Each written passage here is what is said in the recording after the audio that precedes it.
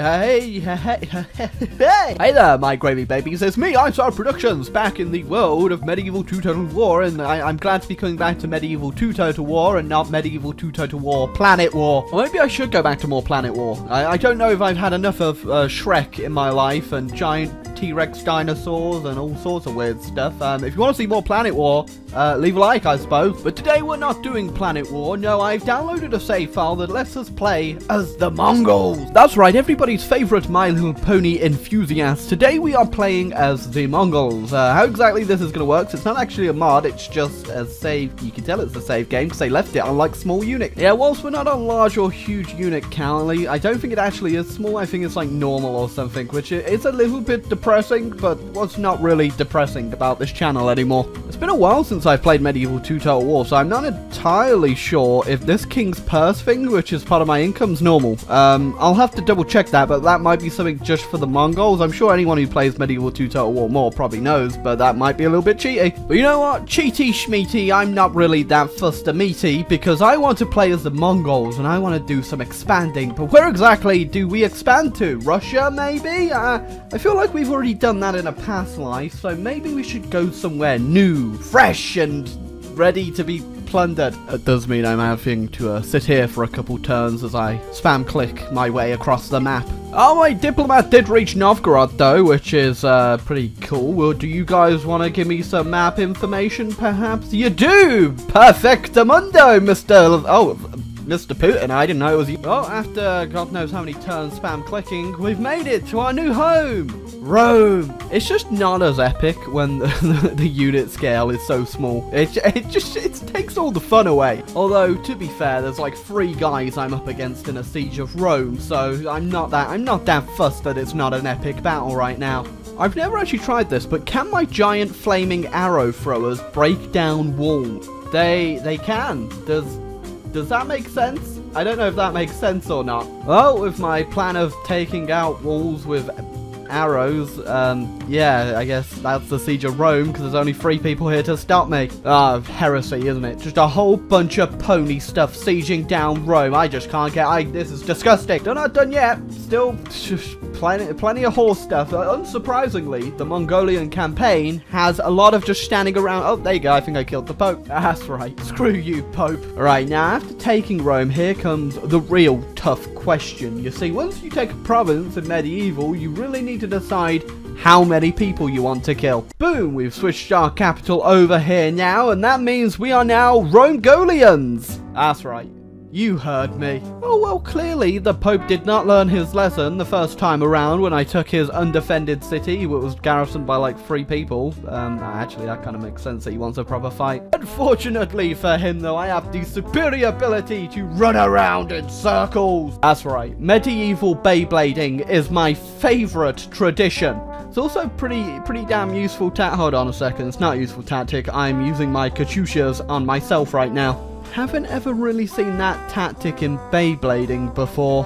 Yeah, because this is a siege battle and I sallied out against them, the, the enemy is just not really doing anything, so my, my spinning in circle tactic is doing pretty well because they'll fake run me out like this, but then they get peppered with arrows and they'll just turn back. It's, um, it's quite the battle, I've got to say. I've literally had enough time to bring the Katyushas all the way up to this hill so I could have a better shot on them. That's how that's how little they have done in this battle. Yep, you guys just you're still gonna you're just gonna sit there while I just shoot you with giant exploding arrows. Okay. Oh, I don't think that was the Pope, but the general's dead. Uh, kind of wish it was the Pope though, because um, I, that would have been two popes under my belt, but unfortunately we're still on the one. I know a thing about My Little Pony, but Batu the Horseman sounds like my type of pony. Oh, uh, I think the pope's the pope's done with fighting for now. Tell you what, do you want an alliance? No, okay, we're just trade rights it is. So not only did I plunder Rome from them, they now also want me to sell grapes to them. Can I have some map information? Hmm. Here we go. Time to alter the deal. How about this one? what does that even mean? Oh, more spinning in circles where I wipe out half the enemy's army before it gets anywhere near me. Oh no, not Khan Jochi the Horseman, my, my favourite of the Khans. We now have... Oh, it's Khan Batu the Horseman. He's now in charge.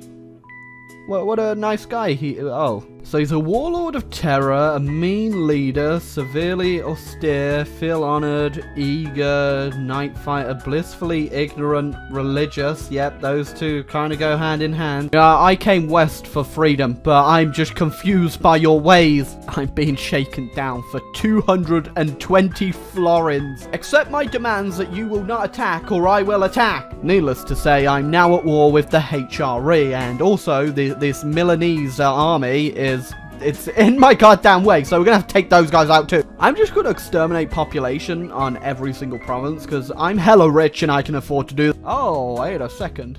I just found another pope. I gotta up my pope kill count. The pope's bravely running away. You can tell because he's raised the Danish flag of surrender. Unfortunately, I am Mongolian and I don't speak your weird gibberish languages. And of course, the Venetians, wanting to continue in their great profiteering capitalistic greed, have decided they'd rather ally me than face my wrath. I'll, I'll accept Venice. Not before I don't burn another town in Italy. Venice didn't even own Venice. Milan owned Venice, which means where, where the hell are you? What are you doing, Venice? Oh, even though I've wiped out the Pope and his presence down here, he just still spawns in Italy, which means my Pope kill count is about to go up pretty damn high. Uh, just another day with the Pope and the Danish flag. I'm building my throne out of the dead Popes I've killed and their hats. Right, there's the Pope, and guess what? Next turn, he will magically reappear in my lands. I can't wait. Well, well, well. Would you look at that? He's back. The Pope is honestly a terribly bad smell at this point. Okay, I sent one unit of horsemen up against the Pope, and he's actually managing to 1v3 them. He's already killed the third guy, now it's just a 1v2. Are you are you telling me this 70-year-old man has the ability to take down 40 of my toughest guys. Are you kidding me? I never I just sent the rest of my army and killed him anyway, but that technically was one win for the Pope there. There you go. I, have I've managed to make Rome Golia majority Islamic now. Welcome, guys, to, to my new city. If you're wondering why I'm not showing more battles, is because it is quite literally Arrow Simulator. Oh, there goes Batu the Horseman, my favourite slaver and religious guy. That's all I remembered from his reign. Um, I'm really hoping none of my, my faction leaders actually spawn over in the, the eastern parts of my land, because I still technically own that province. I just got map information off Portugal, and they own Ireland! Hold on, I bride presented to Mamjis the Ugly. yep, of the Ungred. The Hungarians just walked all the way to Bulgar, which was the province we started with. Um, I still own it, and they're, they're sieging it down with, like, not, not enough people to actually siege it down. So I'm going to make their journey a very, unfortunately, not worthwhile one for them and beat them. Oh, I just realized uh, I got a general over here. It's Kublai! It's Kublai Khan! Uh, is it the Kublai Khan? I, I I don't know, but either way, we got Kublai, Kublai, Kublai! If I'm correct, Kublai Khan was the one that founded the Yuan dynasty in China, but I'm not entirely sure how lost he might be, because this is definitely not China. Oh no, I, I don't think Bulgar's gonna hold out against the Hungarians. They've brought, they've brought at least four more units to take me out now. So if you wonder what I'm doing right now, I'm leading the new Mongol expansion down here in the Balkans under Khan Jeb.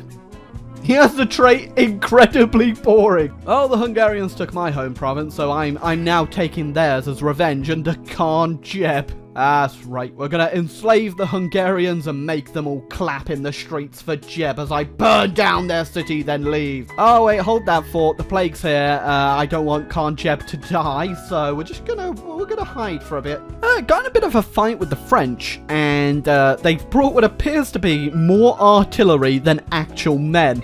Oh yeah, the famous battle of the uh, Crusade of Rome against Abayan the Wrathful against King Saderno the Cold. Unsurprisingly, that crusade didn't go too well. Oh, here we go. Uh, an even greater threat. What is more greater than the Mongol invasion? Come, come on, I took Rome. Are you really saying the Timurids are going to do better than I'm currently pillaging through France. An even greater threat than the Mongols. Come on, I survived the Black Plague. I, I'm, I'm sieging down Paris. Oh, Jihad called against Cons- That is very, very uh, lucky, actually, because I was actually sending an army there to burn it to the ground anyway. Well, there goes Paris. And next, it's time for Constantinople. Oh, what? No! Someone assassinated my faction leader. I don't think that was Jeb. I think Jeb died a while ago. He was so boring, I, I didn't even realize he died, but that was Abian the Wrathful. Um, I can't believe I actually forgot Jeb died. I didn't even realize. Oh, there goes Constantinople. Either way, uh, it, it, said I failed the jihad because my faction leader died, but technically it's still a gaming win. There we go. And in, in honor of Jeb, we've renamed it to Jeb Jebstantinople. Well, now that Jeb's dead, I have no motivation to continue in life, even though he probably died many turns ago, and I only just realized. But here's the world. Um, we had a lot of fun. Uh, look, the Timurids definitely didn't do much. I Anyone that said they were better than me is clearly fake news, and I will be taking it up as libel against me and my Mongol agenda, but Either way, I hope you enjoyed the video. I hope you leave a like, and subscribe button down below. Let me know if you want to see more Planet War, actually, because I think that was a bit of a niche thing, and I don't know if you guys want to see more of that, but I'd be more than willing to give it another go as a different race. Uh, feel free to let me know who's actually playing that one, too, because I'm still very unfamiliar with the mod. But, um, till next time, guys, I will catch you around.